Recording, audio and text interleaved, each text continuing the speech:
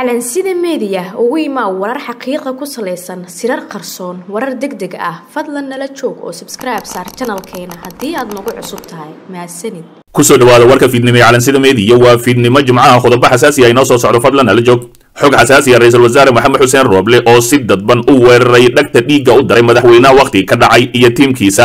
Ra'iisul wasaaraha soomaaliya mudane maxamed xuseen rooble oo ka hadlayay shir uu qabtay wasiiradiisa ayaa sheegay in ay jiraan dad dano gaar leh oo doonaya in ay carqaladeeyaan arrimaha doorashooyinka dalka taa uu la jeedo madaxweynaha wakhtiga ka dhacay iyo tiimkiisa rooble ayaa sheegay in qabsoomidda doorashada ay tahay xalka keliya ee dalka uga bixi karo xaaladda adag ee uu iminka ku jiro. Waxa uu ku adkaystay in doorashada loo qaban doono si deg deg ah islamarkaasina shirka golaha wadatashiga qaran lagu go'aamin doono jadwal doorasho oo deg deg ahi. Master rooble ma sheegin cidda ay yihiin dadkaasi hase yeeshee? Hadalkiisa wuxuu imaanayaa iyada oo khilaaf xooggan oo cusub uu soo kala dhex galay. Madaxweynaha wakhtiga ka dhacay maxamed cabdilaahi farmaajo iyo asiga farmaajo oo ka caraysan cayrintii rooble oo uu ku sameeyey xubno ka mid ahi guddiga xalinta khilaafaadka dalka ayaa la sheegay inuu isku dayayay in uu carqaladeeyo doorashada dalka.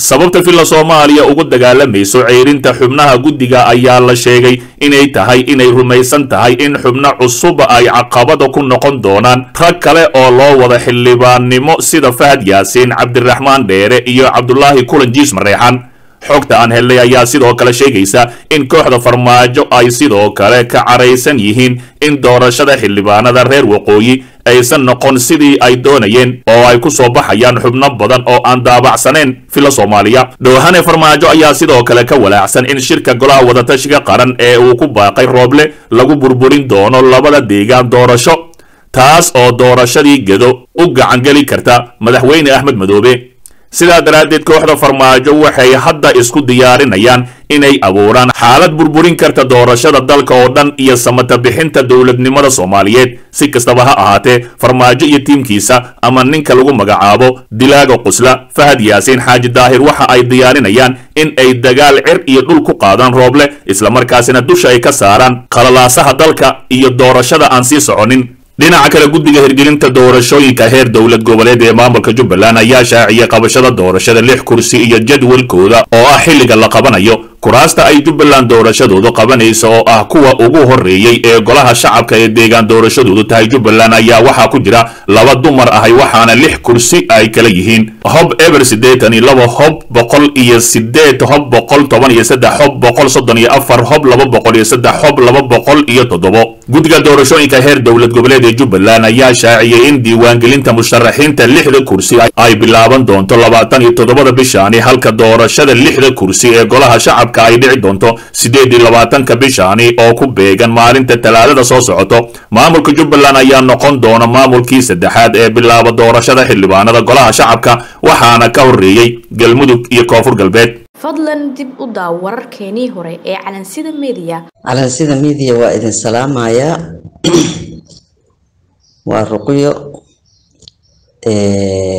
waxaan rabaa laba arrimood oo aada iyo aada aan ula yaabay inaan halkan ka sheego. Adduunyada kama dhicin nin sarkaal ah ee eedeyn u jeedinayo ninkii ugu sarreeyey wakhtigan xaadirka ah soomaaliya. Barkii aniga ma dhihi karo madaxweyneha jira ma dhihi karo maandeydkiisii wuu dhammaaday madaxweyne meeshan waxaa ka ah ra'iisul wasaare maxamed xuseen rooble. Hadduu qaldamaana shaqo ku lahayn hadduu wax hagaajiyaan maxaa la yidhahdaa ku faraxsanahay?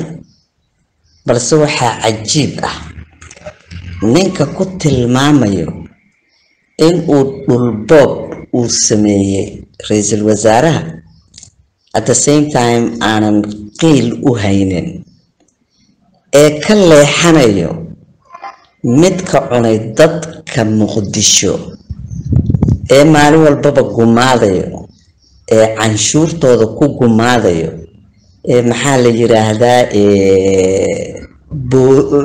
xoolihii qaranka uu lahaa asaga dhinaciisa marsiiyey hadday ahaan lahayd wixii oo kaalmo ah oo dowladaha qalaad aan ka helnay hadday ahaan lahayd waxa kaalma oo loo soo diro wadankan maxaa la yiraahdaa hadday ahaan lahayd intuu ka leexday ra'iisul wasaaraha soo abbaaray meeshaas waxaa kaaga cad in ay tahay ruuxaantii farmaajo. Balse waxaan aada ugu faraxsanahay inuu jawaab ka bixiyey ninka ugu sareeyo maanta ciidanka which is bashiir goobe askariga waxaa laga rabaa inuu akhlaaq leeyahay. Laakiin isweydiintaa waxay tahay horta ma joogaan hadduu mid sare yahay iyo hadduu dable yahay. Askar akhlaaq qabto ma joogaan waayo soomaaliya iyo siyaasadeeda iyo sida hadda lagu dhaqmaayo waxaan soo aragnay maaha nin ciilqaba ah ee raba inuu maaragtay dad gumaado. Ayaa meeshan yimid wax magaratadii hawiyana? Hadda ayagaa doortay anuu laftarkeyga naag hawiyaan ahay balse caqliga ilaahay ha u toosiyaan leeyahay farmaajo inta qodob uu sheegi jiray markii uu kambeynka ku jiray madaxiina ayaa diidayo al-shabaab ninkii wax ka soo sheego intaasoo lacagaan siinaynaa etoobiya ma maqli karo. Hadda waa abi walaalkiis abi farmaajo maxamed farmaajo. Abi axmed cali wuxuu yiri waa walaalkay aniga ila dhashay farmaajaa dhalay marka waxa waaye meeshaan doorasho kama soo socoto. Farmaaja wuxuu sugayaa inta abey uu xaalkiisa meel marsiinayo kadib waxaa la rabaa sifaalihii lagu geeyey. Ninka la yiraahdo cabdicasiis lafta gareen ee dhiigga ku fadhiya ee loo adeegsaday etoobiyaanka in lagu adeegsado eritreana haddaaba inta lagu keenayba ciyaal baa yimid. Ciyaalka ninka mas'uulka ah ee shalay maxay ahayta yiri ilmahanaytood dooxaa loo qaadayaa kadibna eritreya la geeyey ee dagaalka t p l f ku dhintay. Yaa kuwana ay cagaha barareen sidii beere iyo bakti loogu falaayay. Waa yimideen yaan la idiin sheegin.